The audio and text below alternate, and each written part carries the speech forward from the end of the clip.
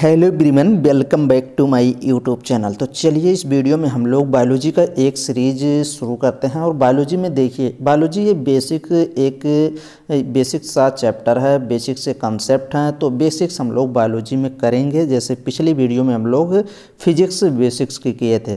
तो देखिए, आप तैयारी कर रहे हैं। अगर आप बीएससी नर्सिंग की तैयारी कर रहे हैं, एंट्रेंस एग्ज़ाम की या फिर आप पैरामेडिकल की एंट्रेंस एग्ज़ाम की तैयारी कर रहे हैं। पैरामेडिकल हो गया या फिर आप फार्मेसी का कहीं आपको एंट्रेंस एग्ज़ाम देना है फार्मेसी का और आप तैयारी कर रहे हैं कि 2024 में आप एंट्रेंस एग्ज़ाम क्वालिफाई करके गवर्नमेंट कॉलेज से आप ये कोर्स करें।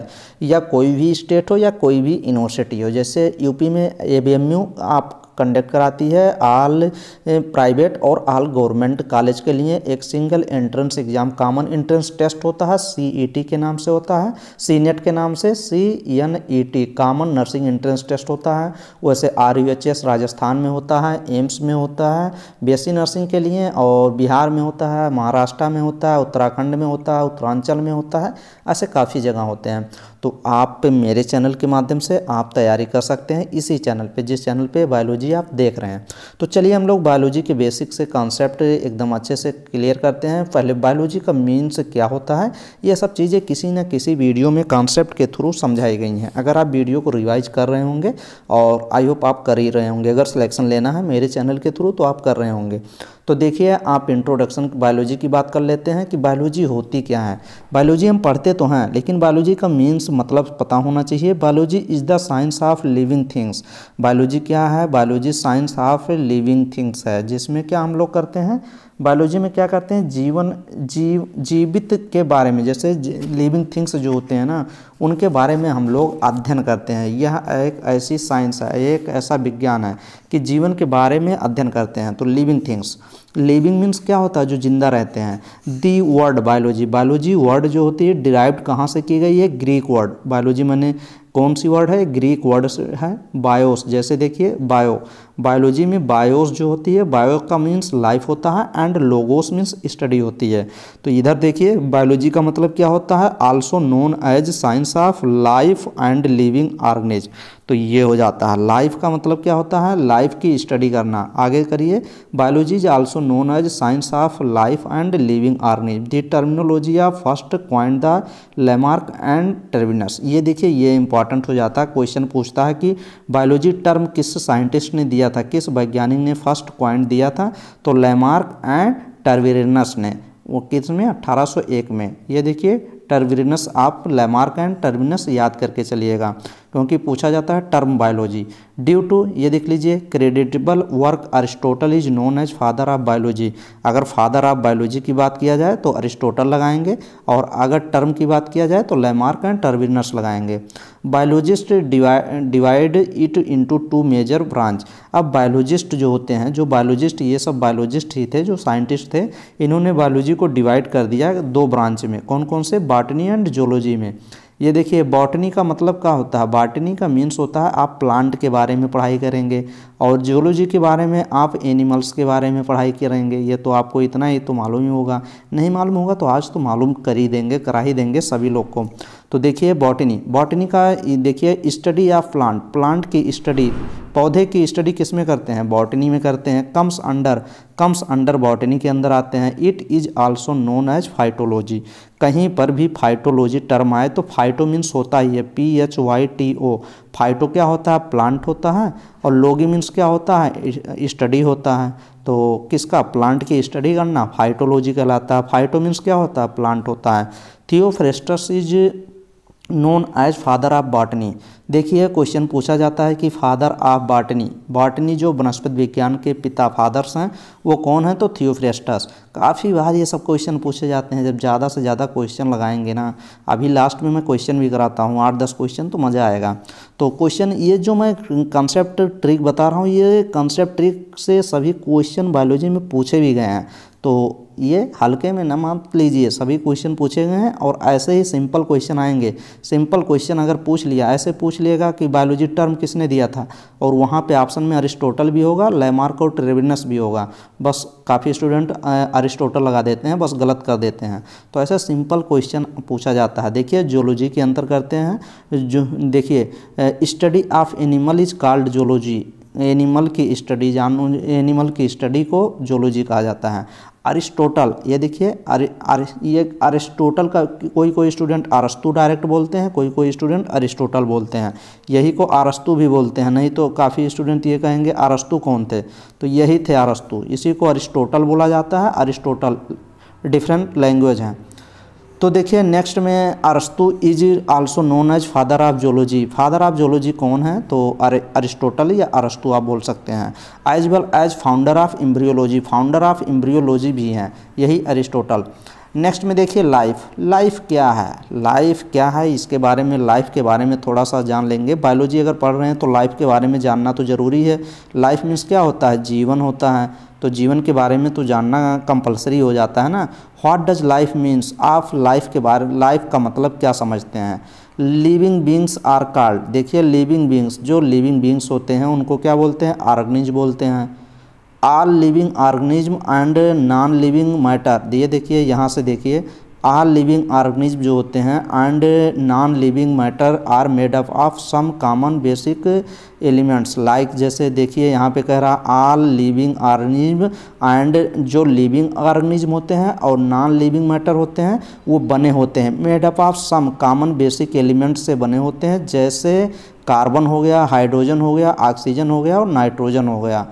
नेक्स्ट में देखिए living and non living both follow the same physical law living and non living दोनों क्या करते हैं? सेम फ़िज़िकल लॉ फॉलो करते हैं। स्टिल फिर भी लिविंग ऑर्गेनिज्म जो होते हैं, जो जीवित प्राणी होते हैं are different from non living वो नॉन लिविंग से डिफरेंट होते हैं। जैसे on the basis of some fundamental characters कुछ लिविंग और नॉन लिविंग में कुछ करेक्टर तो डिफरेंट होते ही हैं। क्योंकि देखिए लिविंग जो होते हैं, जो लिविंग थिंग्स, जो जीवित वस्तुएँ होती हैं वह act as an organise structure के फॉर्म में होते हैं कैपेबल टू परफॉर्म कर सकते हैं लाइफ प्रोसेस देखिए so they are called organism जैसे वो लिविंग थिंग्स उसको बोलते हैं जो ऑर्गेनाइज स्ट्रक्चर कैपेबल परफॉर्म करते हैं लाइफ प्रोसेस में अपने पूरे जीवन काल में, वो कॉल्ड ऑर्गेनिज्म जैसे atomic atomic and molecular level of organism organisation are found in both living and non living तो वो चीज़ हो जाएगा। बट देखिए, आगे चलिए। यहाँ पे both living and non living but protoplasmic cellular tissue cellular tissue organ जैसे कहते नहीं हैं। पहले क्या होता? है पहले एटम्स एटम्स बनते हैं। एटम से मिलके सेल बन जाएगा। सेल सेल से मिलके क्या बनते हैं? सेल से मिलके बनता है आपका टिश्यू बनता है। यहाँ पे देखिए टिश्यू दिया गया है। टिश्यू से मिलके क्या बनता है? आर्गन, ऐसे आगे लिख लीजिए। टीशू लिख लीजिए, फिर टीशू से आगे क्या लिखेंगे? आर्गन लिख लीजिए। आर्गन के आगे क्या लिख लीजिए? आर्गन सिस्टम लिख लीजिए। ऐसे लिख लीजिए। सेल से, सेल छो, सेल क्या होती है? सेल एक छोटा सा टुकड़ा होता है, बहुत माइन्यूट एकदम टिनी एकदम छोटा सा टुकड़े को सेल ही बोलते हैं। देखिए living and non living but protoplasmic cellular tissue organs and organ system level पूरा बन जाता है, एक ऑर्गेनाइजेशन बन जाता है। Are only seen in living beings एक पूरी शरीर कैसे बनती है? पहले सेल फिर टिश्यू टिश्यू से क्या बनेगा? आर्गन आर्गन से। आर्गन सिस्टम आर्गन सिस्टम से पूरा होल बॉडी बन जाता है।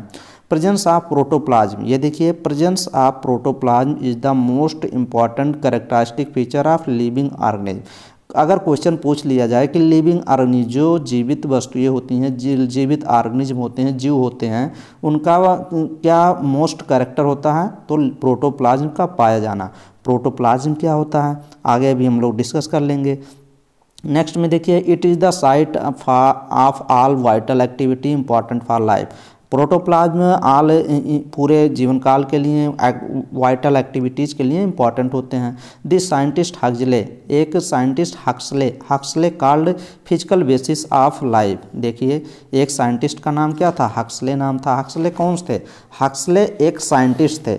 अब इन्होंने क्या बोला कि प्रोटोप्लाज्म क्या होती है? फ़िज़िकल बेसिस ऑफ़ लाइफ होती है। तो ये किस साइंटिस्ट ने कहा था? ये हक्सले ने। आप लिख सकते हैं, क्वेश्चन पूछा जाता है। क्वेश्चन पूछा गया है कि अट्ठारह में एक वर्ड लिख लीजिए। यहीं पे मैं लिख दे रहा हूँ। आप भी लिख सकते हैं, इंपॉर्टेंट है। ये लिख सकते हैं प्रोटोप्लाज्म के बारे में है। P R O T O, proto, P L A S M. Protoplasm को क्या कहें, हाक्सले साहब ने क्या कहा था, यहीं पे आगे लिख लीजिए कि फ़िज़िकल बेसिस ऑफ़ लाइफ किसको कहा था, प्रोटोप्लाज्म को, the physical basis of life, किसने कहा था, हक्सले साहब ने कहा था।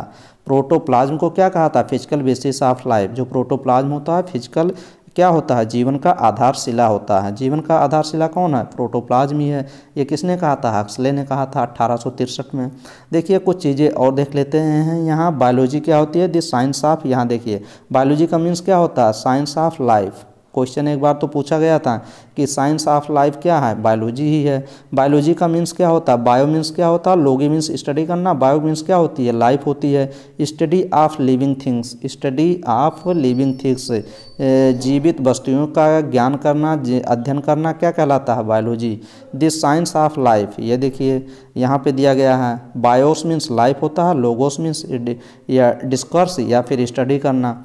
Biology, term biology was coined by ये देखिए, टर्म किसने दिया था? जैन बेप्टिस्ट डी लेमार्क या फिर फ्रांसिस एंड टेरविनस, मैंने बता ही दिया, जर्मनी के थे ये। तो ये चीज़ हो गया। फिर आप यहाँ पे बायोलॉजी को डिवाइड किया गया था, जोलॉजी, बॉटनी में मैंने बता ही दिया था उसका मतलब। बॉटनी के अंतर्गत प्लांट की डील करते हैं और जोलॉजी के अंदर एनिमल को डील किया जाता है। ये भी बता दिया था। Botany is also known as phytology के बारे में बता दिया था कि फाइटोलॉजी माइक्रोबायोलॉजी क्या होती है? माइक्रोबायोलॉजी थर्ड मेन ब्रांच हुई डील विथ द सिंपलर ये देखिए थर्ड मेन ब्रांच है बायोलॉजी की। ये देखिए थर्ड मेन ब्रांच जिसके अंतर्गत डील किया जाता है माइक्रोस्कोपिक ऑर्गेनिज्म को।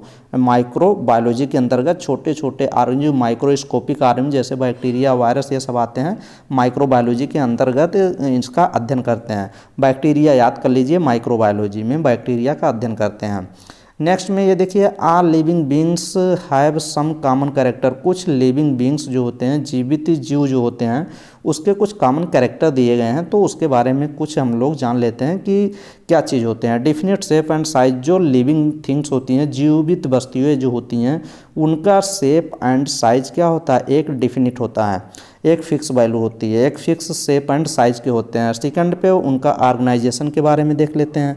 तो ऑर्गेनाइजेशन क्या होता है? Living organism have simple to complex level of organization type के होते हैं। सिंपल से कॉम्प्लेक्स लेवल पे सम आर वेरी कुछ वो वेरी करते हैं डिफरेंट होते हैं। Simple up to cellular level कुछ वो वेरी सिंपल होते हैं सेलुलर लेवल पे होते हैं। वायर एज अदर है कुछ कॉम्प्लेक्स ऑर्गेनाइजेशन में होते हैं। जैसे टिश्यू हो गया आर्गन हो गया और आर्गन सिस्टम हो गया।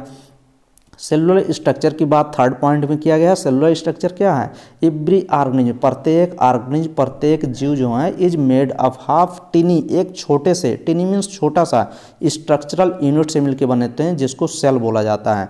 सेलुलर स्ट्रक्चर क्या होता है? सेल छोटे छोटे सेल मिलके ही तो सेलुलर पूरा स्ट्रक्चर सेल का बन जाती है ना। सेल्स ही छोटे छोटे सेल मिलके टिश्यू में, टिश्यू से आर्गन आर्गन से पूरा आर्गन सिस्टम आर्गन सिस्टम से पूरा होल बॉडी बन जाती है बॉडी की। यह देखिए प्रोटोप्लाज्म। हाँ मैंने जो बात कर रहा था ना कि प्रोटोप्लाज्म होता क्या है तो इसके बारे में देखिए, फोर्थ पॉइंट दिया गया है प्रोटोप्लाज्म। एक बार तो क्वेश्चन ये पूछा गया था कि प्रोटोप्लाज्म, मान लीजिए ये सेल है अब ये सेल के अंदर प्रोटोप्लाज्म क्या है? एक तरल पदार्थ है, एक लिक्विड ही है, ये मान के चलिए। अब प्रोटोप्लाज्म के अंदर न्यूक्लियस होता है। एक बार क्वेश्चन पूछा था कि प्रोटोप्लाज्म के अंदर क्या होता है? तो nucleus N C L U S nucleus होता है, प्लस क्या होता है? साइटोप्लाज्म होता है। ये क्या होता है? साइटोप्लाज्म। ये किसके अंतर्गत आता है? प्रोटोप्लाज्म के अंदर। तो ये आते हैं। अब यहाँ से देखिए, protoplasm all living cell have semi fluid card semi fluid card semi fluid मतलब एकदम ऐसा पानी जैसा ही नहीं होता सेमी फ्लूड होता है। तो कार्ड प्रोटोप्लाज्म कार्ड प्रोटोप्लाज्म कहा जाता है। लिविंग थिंग्स लिविंग जो सेल होते हैं हाइव उसमें होता है सेमी फ्लूड होता है। सेमी फ्लूड क्या होता है? सेमी फ्लूड को ही प्रोटोप्लाज्म कहा जाता है। It is a complex colloidal ये एक complex colloidal system where all vital activities take place ये क्या करते हैं? कोलाइडल सिस्टम होता है जो वाइटल एक्टिविटीज़ के लिए इंपॉर्टेंट होते हैं। मेटाबॉलिज्म के बारे में देख लीजिए। ये सब इंपॉर्टेंट बॉडी के बारे में बताई जा रही हैं। यहाँ से क्वेश्चन सिंपल बनते हैं या फिर आपको बेसिक को डेवलप करते हैं। ये देखिए मेटाबॉलिज्म क्या है? मेटाबॉलिज्म एक सीरीज़ ऑफ़ बायोकेमिकल रिएक्शन है। बायोकेमिकल रिएक्शन है जो शरीर में चलती हैं। Going on is cell for life is called metabolism अलग अलग होती हैं सेल में चलती हैं। तभी तो एनर्जी मिलती है। ग्लाइकोलिसिस हो गया ग्लाइकोजिनोलिसिस हो गया ग्लाइकोनियोजेनेसिस काफ़ी बायोकेमिकल रिएक्शन चलती हैं जो एंजाइम भी हेल्प करते हैं मेटाबॉलिज्म उसी को कहते हैं। तभी तो जो फ़ूड खाते हैं, हम फ़ूड से एनर्जी मिलती है मेटाबॉलिज्म ही क्रिया होती है वहाँ पे शरीर में, उस सभी चीज़ों की बात हो रही है। Growth and development six point देख लीजिए। Growth and development are living organism जो जीवित जीव होते हैं, वो सो क्या उसमें होता है? ग्रोथ इन दियर साइज़ उनमें ग्रोथ होता है। ग्रोथ मतलब होगा, लेकिन उनके साइज़ में ग्रोथ होगा। दी डेवलपमेंट डेवलपमेंट कहाँ होगा? In series of change during the life cycle of organism उनके लाइफ साइकिल में चेंजेज आएँगे तो वो डेवलपमेंट होगा। तो ग्रोथ एंड डेवलपमेंट किसमें होता है? लिविंग ऑर्गेनिज्म में, ना कि नॉन लिविंग ऑर्गेनिज्म में। तो आगे चलिए, कुछ चीज़ें अभी और भी क्लियर कर लेंगे। ग्रोथ एंड डेवलपमेंट के बारे में आगे और पढ़ेंगे। चीज़ें देखिए मूवमेंट क्या होता है? सेवन्थ नंबर पे मूवमेंट देख लीजिए, क्योंकि हम लोग मूवमेंट भी करते हैं, लोकोमोशन भी करते हैं, दोनों करते हैं। अभी मूवमेंट और लोकोमोशन में भी डिफरेंट होना चाहिए। मूवमेंट और लोकोमोशन से भी क्वेश्चन पूछे जाते हैं, एकदम बेसिक क्वेश्चन। जैसे देखिए, मूवमेंट क्या है? Most of the animal move from one place to another is called locomotion. ये देखिए, अगर हम मान लीजिए, एक जगह पर खड़े हुए हैं, अभी या प्लांट का एग्ज़ाम्पल ले सकते हैं, पौधे का एग्ज़ाम्पल ले सकते हैं, या हम लोगों का, ह्यूमन का एग्ज़ाम्पल ले सकते हैं। मान लीजिए हम एक जगह खड़े हुए हैं और सिर्फ़ अपने हाथ पैर हिला रहे हैं प्लेस को चेंज नहीं कर रहे हैं, जगह नहीं परिवर्तन कर रहे हैं तो उसको क्या कहेंगे? उसका मूवमेंट कहेंगे। लेकिन अगर जगह चेंज कर दिए, एक प्लेस से दूसरे जगह पे चले गए तो उसको लोकोमोशन बोलते हैं। आगे चलिए, अभी क्लियर होगा। Most of the animal move from one place एक स्थान से दूसरे स्थान पे उसको लोकोमोशन बोला जाता है। जैसे इन प्लांट प्लांट के केस में प्लांट जो पौधे होते हैं एंड फिक्स्ड एनिमल और कुछ फिक्स्ड एनिमल भी होते हैं जैसे स्पंज हो गया स्पंज देखे होंगे, या स्पंज हो गया। Movement in seen only in their body केवल उनके बॉडी में मूवमेंट होता है। बॉडी वो अपने हाँ हाथ पैर हिलाते हैं, जैसे पौधे में क्या होता है? जो टहनियाँ होती हैं, डाल होती हैं, वो सिर्फ़ हिलती हैं, चलती थोड़ी हैं कि एक स्थान से दूसरे स्थान पर चली जाएँगी। बॉडी पार्ट जैसे बेंडिंग ऑफ़ रूट जैसे देखिए रूट जो जड़ होते हैं, वो बेंड कर कर जाते हैं पौधों में। एंड सूट जो सूट तना जो होता है, वो क्या कर ले जाते हैं? वो भी बेंड करते हैं। In response to gravity gravity की तरफ़ झुक जाते हैं धरती की तरफ़ एंड लाइट की तरफ़, जहाँ जिधर से लाइट आती है, उधर मुड़ जाते हैं। तो ओपनिंग ऑफ़ बर्ड बर्ड भी ओपन हो जाते हैं। आर द एग्ज़ाम्पल आप किसके? मूवमेंट के एग्ज़ाम्पल हैं। तो आप लोकोमोशन और मूवमेंट के डिफिनेशन तो समझ गए होंगे। नहीं समझ गए होंगे तो लिख लीजिए, समझ जाएँगे। वैसे समझ गए होंगे। इतना तो है ही। कुछ दिमाग अगर आप ऑनलाइन पढ़ रहे हैं नेक्स्ट में आठ नंबर पे आइए रिस्पांस एंड स्टिमुलाई देखिए। रिस्पांस क्या होता है? स्टिमुलाई क्या होते हैं? जो लिविंग जीव जंतु होते हैं, वो तो कुछ रिस्पांस करते हैं ना, कुछ उनके अंदर स्टिमुलाई तो होती है। Visual changes in an organism produce as a result of stimuli is called response जैसे देखिए विजुअल चेंजेज जैसे हम लोग को कुछ चीज़ें देखता है, देखते हैं तो चेंजेज इन ऑर्गनिज तो कुछ चेंजेज होती हैं, उसका रिज़ल्ट हम कुछ स्टिमुलाई उत्पन्न करते हैं तो उसी को रिस्पॉन्स बोलते हैं। कोई मान लीजिए हमें टच करे तो पहले हम देखेंगे ना, तभी तो रिस्पांस करेंगे। एक्सक्रेशन यहाँ देखिए एक्सक्रेशन भी इंपॉर्टेंट हो जाता है एक्सक्रेशन के बारे में समझने के लिए। एक्सक्रेशन क्या है? Removal of waste product produce during metabolism from the body excretion जैसे देखिए, जब हम लोग फ़ूड वूड खाते हैं, खाना खाते हैं तो क्या करते हैं? उससे हम लोग ड्यूरिंग मेटाबॉलिज्म होती है एनर्जी मिलती है, लेकिन कुछ बेस्टेड प्रोडक्ट भी निकलते हैं ना। जैसे यूरिन निकल गया, फिर उसके बाद स्टूल पास आउट हो जाते हैं स्वेटिंग काफ़ी एक्सक्रेशन प्रोडक्ट होते हैं। नेक्स्ट में रिस्पायरेशन देखिए टेन पॉइंट रिस्पायरेशन भी देख लीजिए। All living organism are use सभी लिविंग आर्निज जो जिंदे, जो जीव होते हैं, वो क्या करते हैं? यूज़ करते हैं ऑक्सीजन क्यों करते हैं? रिस्पायरेशन में. क्यों करते हैं? ऑक्सीडेशन ऑफ़ फ़ूड फ़ूड का ऑक्सीडाइज करने के लिए. टू ऑप्टेंट एनर्जी कौन सी एनर्जी एटीपी फॉर्म में एडेनोसिन ट्राईफॉस्फेट एटीपी के फॉर्म में।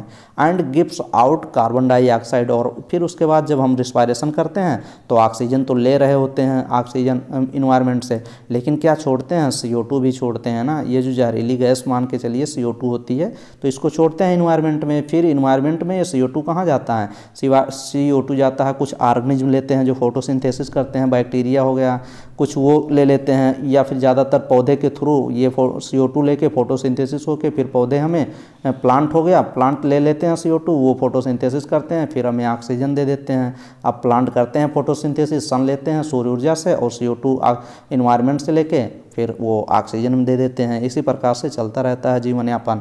न्यूट्रिशन देखिए living organism obtained food from environment get energy growth and repair के लिए। न्यूट्रिशन हम लोग फ़ूड क्यों लेते हैं? वाई लिविंग ऑर्गेनिज क्यों फ़ूड खाता है? क्यों भोजन खाता है?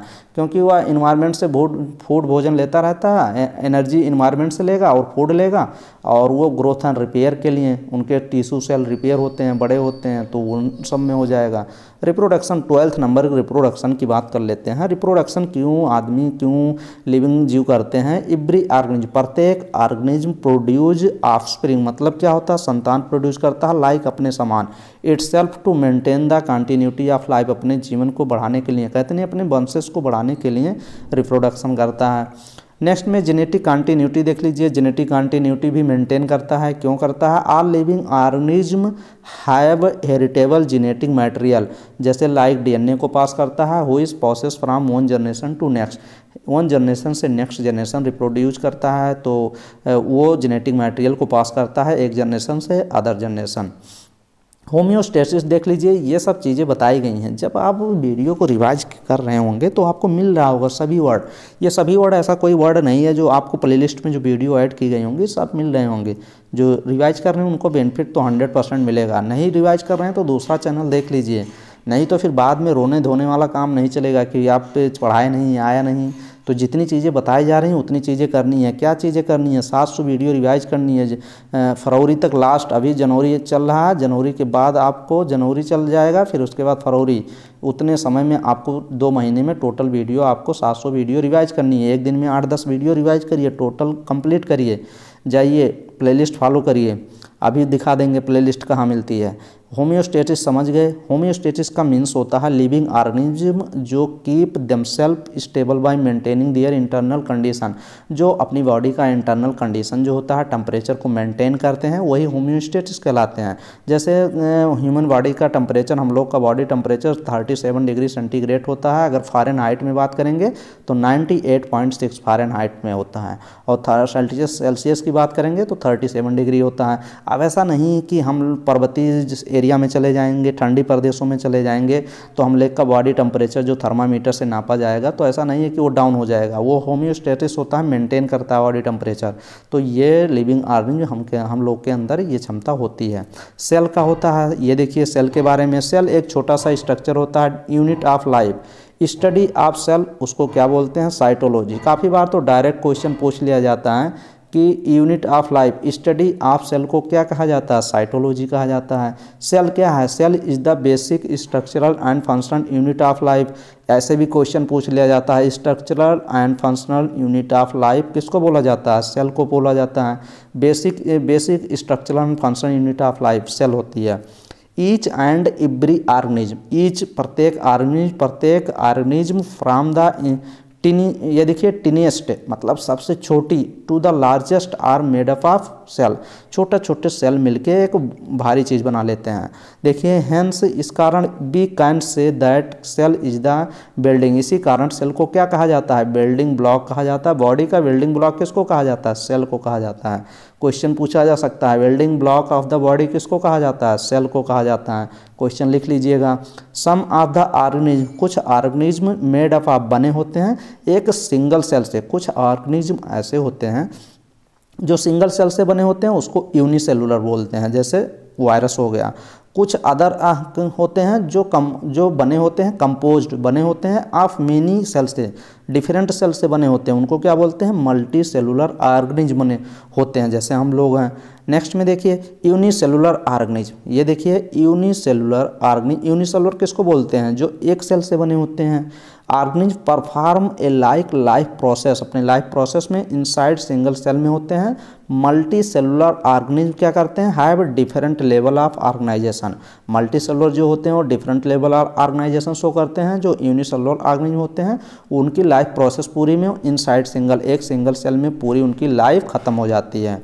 नेक्स्ट में similar kind of cell similar similar एक समान काइंड ऑफ़ सेल जो होते हैं grouped together to form tissue cell से टिश्यू बनता है, मैंने बताया था। हैविंग सिमिलर फ़ंक्शन होते हैं।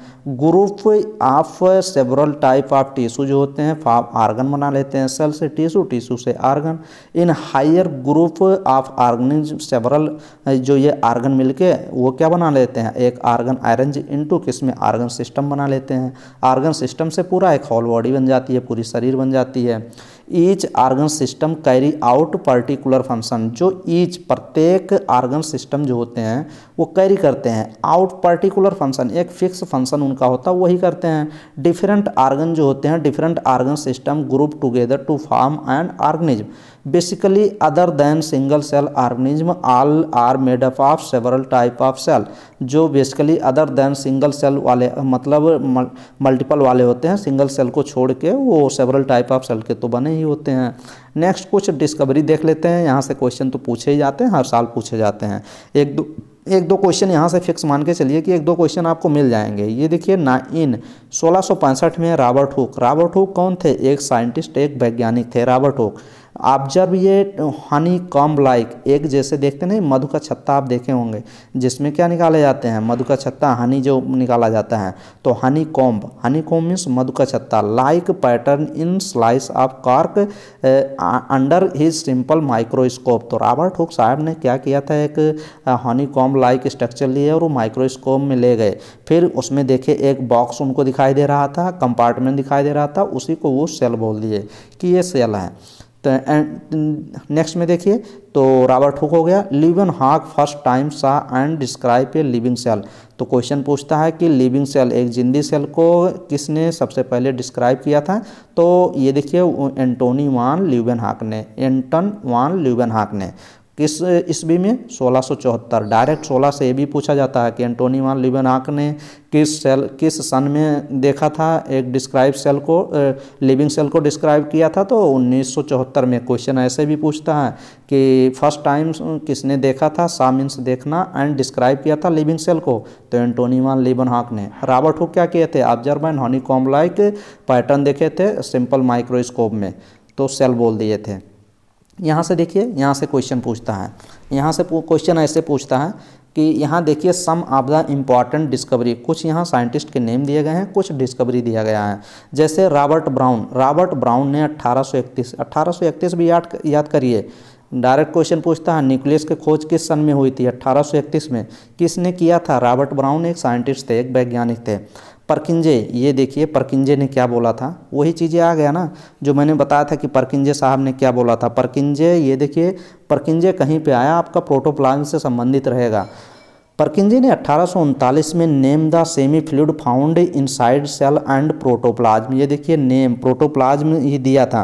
प्रोटोप्लाज्म, इन्होंने बोला था कि term, protoplasm living matter of the cell, living matter of the cell. किसी के सेल का लिविंग मैटर क्या होता है? सेमी फ्लूड होता है। सेमी फ्लूड क्या हो गया? प्रोटोप्लाज्म। तो name the semi fluid found inside the cell. Cell के अंदर एक नेम्ड सेमी फ्लूड पाया गया उसको प्रोटोप्लाज। तो ये प्रकिंजे साहब ने ही बोला था। नेक्स्ट में नेक्स्ट में देखिए Schleiden. Schleiden and Schwann, important discovery है। स्लाइडन एंड स्वान, ये देखिए दोनों हैं। स्लाइडन ने क्या किया? स्लाइडन ने स्वान तो जोलॉजिस्ट थे और स्वान क्या थे? ये प्लांट थे। तो स्लाइडन ने क्या क्या बोला? All plant are made up of cell सभी जो प्लांट्स होते हैं, सभी पौधे होते हैं, वो बने होते हैं किस से सेल से। ये स्लाइडन ने बोला। स्वान ने बोला आल एनिमल सभी जो एनिमल्स होते हैं, वो बने होते हैं कैसे? सेल से। तो एनिमल के बारे में स्वान। स्वान माने हंस। वहीं से याद कर लीजिएगा। स्वान क्या था? हंस था। एनिमल ही था। तो वो, वहीं से आप पकड़ लेंगे। ये सब कराई गई हैं। ये सब ट्रिक हज़ारों बार बताई गई हैं चैनल पे। कैमलियो गॉलजी कैमिलो गोल्जी ने क्या डिस्कवर किया था? गोल्जी बॉडी को। वाल्डेयर एक साइंटिस्ट थे, इन्होंने क्रोमोसोम को डिस्कवर किया था। एक एक सिंपर सिंपर क्या थे? क्लोरोप्लास्ट क्लोरोप्लास्ट क्या होता है भाई?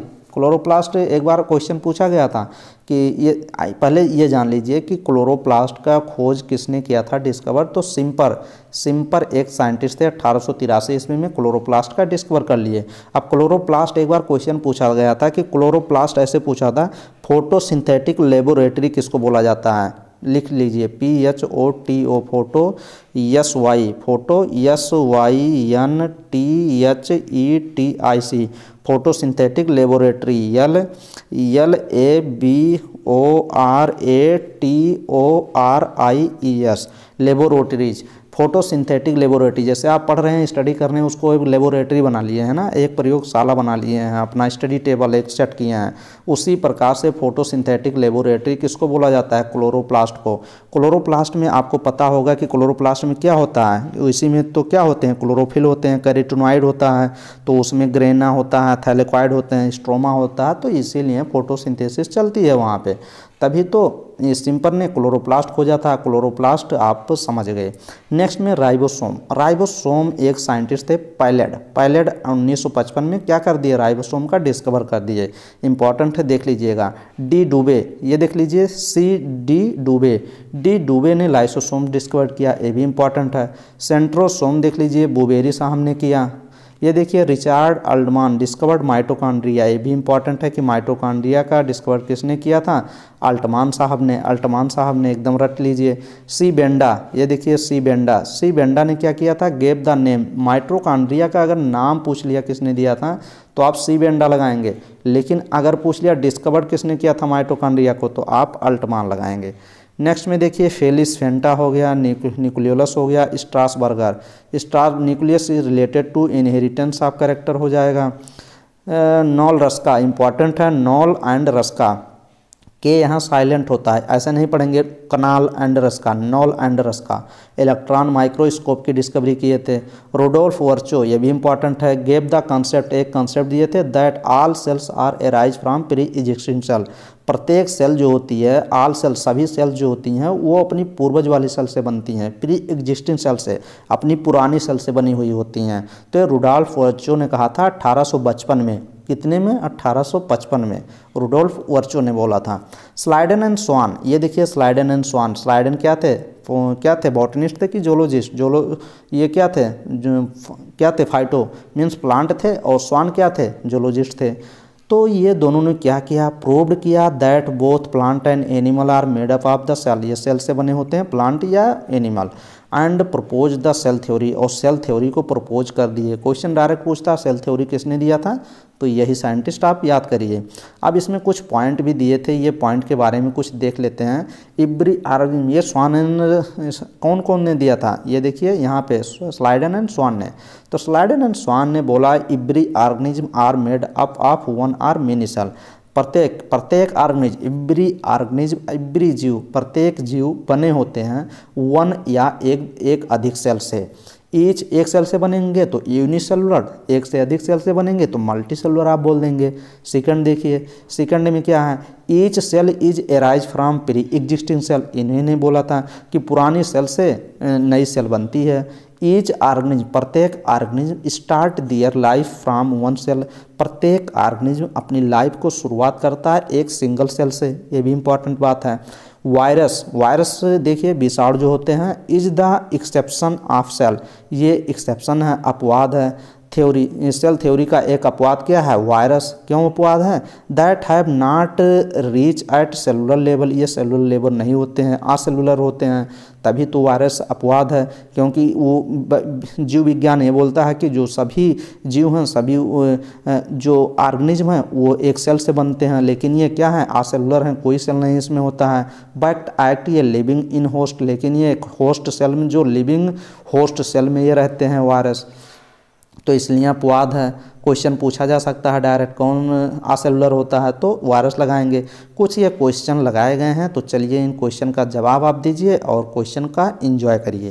ये सभी क्वेश्चन इंपॉर्टेंट हैं तो अच्छे से देखिए और सही करने की कोशिश करें। एक क्वेश्चन तो आपको कमेंट बॉक्स में कमेंट करना है और सभी स्टूडेंट कमेंट करेंगे। हंड्रेड परसेंट कमेंट करेंगे। अगर आप कमेंट नहीं कर रहे हैं तो चैनल से मेरे ना ही तैयारी करें। मैं बार बार यही कह रहा हूँ, अगर आप क्वेश्चन की जवाब नहीं देते हैं, हर क्वेश्चन का जवाब नहीं दे रहे हैं कमेंट बॉक्स में नहीं कमेंट कर रहे हैं, और क्वेश्चन पूछा जा रहा है, मेहनत की जा रही है, मेहनत हंड्रेड परसेंट मैं कर रहा हूँ, चार से लेकर पाँच घंटे तक वीडियो बनाने में मेहनत लग रही है, और क्वेश्चन पूछा जा रहा है वीडियो में कमेंट नहीं कर रहे हैं, बस डाउनलोड करके देख रहे हैं कुछ स्टूडेंट डाउनलोड ऑप्शन बंद करने वाला हूँ, बस बात चल रही है, बस आप एक देखिए term biology was introduced by term biology किसने दिया था? बायोलॉजी टर्म किसने दिया था? अभी शुरू में बताया था कि biology term Lamarck and Treviranus ने दिया था। Father of biology father of biology कौन है? बायोलॉजी फादर ऑफ़ बायोलॉजी कौन है? ये देखिए, अरस्तु, अरिस्टोटल इसको बोल सकते हैं। बी ऑप्शन आपका करेक्ट हो जाएगा। नेक्स्ट में देखिए who is called father of zoology इस क्वेश्चन का जवाब आपको देना है कि फादर ऑफ़ जोलॉजी जोलॉजी जो जीव विज्ञान के पिता किसको बोला जाता है? फादर ऑफ़ जोलॉजी किसको बोला जाता है? आप इस क्वेश्चन का जवाब देना है। फ़र्स्ट ऑप्शन करेक्ट हो जाएगा। सेकंड अरस्तु, डार्बिन, हिपोक्रेट्स या थियोफ्रेस्टस? 140 क्वेश्चन एकदम इंपॉर्टेंट क्वेश्चन है। उनचालीस का ऑप्शन आप क्वेश्चन में आप टिक करेंगे क्वेश्चन में, आप कमेंट करके बताएँगे वीडियो के डिस्क्रिप्शन बॉक्स में कमेंट करेंगे, कहने का मतलब यह है। 141 forty one what is the name of book written by अरस्तु जो अरिस्टोटल्स साहब साइंटिस्ट थे अरस्तु इन्होंने एक बुक लिखा था। एक बुक अपने नाम में लिखा था। कौन सी बुक लिखा था? उस बुक का नाम बताना है। हिस्टोरिया नेचुरला या सिस्टमा, नेचर या हिस्टोरिया एनिमेलिया। तो हिस्टोरिया एनिमेलिया एक बुक का नेम था जी इन्होंने लिखा था किसने? अरस्तु साहब ने।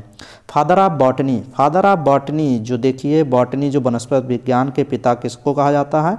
अरस्तु, लेनियस, थियोफ्रेस्टस या ल्यूबेनहाक तो थियोफ्रेस्टस को ऑप्शन नंबर सी आप करेक्ट करेंगे। Father of modern botany. ये भी इंपॉर्टेंट क्वेश्चन हो जाता है और एकदम गलत करते हैं student.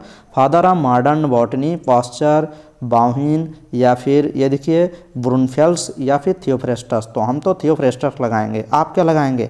आप लगा दीजिए बाहुन लगा दीजिए। तो आप बाहुन लगाएँगे तो यही करेक्ट हो जाएगा, क्योंकि मॉडर्न ऑफ़ बॉटनी पूछा जा रहा है। तो थियोफ्रेस्टस यहाँ काफ़ी स्टूडेंट लगाते हैं, जो कि गलत कर जाते हैं। तो आपको बाहुन लगाना है B A U H I N Bauhin B option correct हो जाएगा। Who is father of medicine ये क्वेश्चन तो सब क्वेश्चन सही करते हैं। लगभग 10-20 बार लगाया गया है क्वेश्चन वीडियो रिवाइज करें।